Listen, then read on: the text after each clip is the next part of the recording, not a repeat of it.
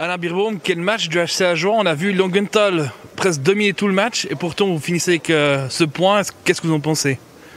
Bon, je suis pas sûr qu'ils aient vraiment dominé, dominé, mais en tout cas, ils ont, des chances. comme c'est une équipe qui, est forte, il hein, faut pas, l'admettre. Mais je pense qu'on a su euh, jouer différemment que le match numéro 1. On a bloqué plus de shoots, on a payé le prix euh, quand il fallait.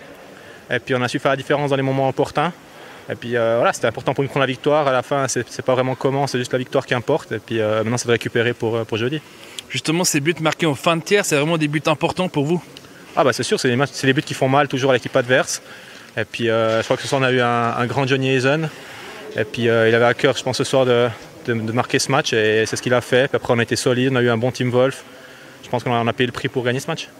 Est-ce que pour le match de jeudi, vous allez repartir à peu près sur la même stratégie de jeu? Ben, je pense que quand tu gagnes, tu restes un peu dans les mêmes, dans les mêmes choses, mais c'est sûr que demain on va quand même regarder un peu la vidéo parce qu'on a quand même pris des buts, on, deux, trois choses dans la zone défensive qu'on peut encore améliorer pour, pour le sud de la série. Mais euh, comme je dis, là, ce qui est important, c'est de récupérer. Ça va être une, longue série, on ne s'attend pas à faire ça en 5 matchs, on, s'attend plus à aller à 7. Donc il faut récupérer et puis euh, repartir au travail jeudi. Merci bien.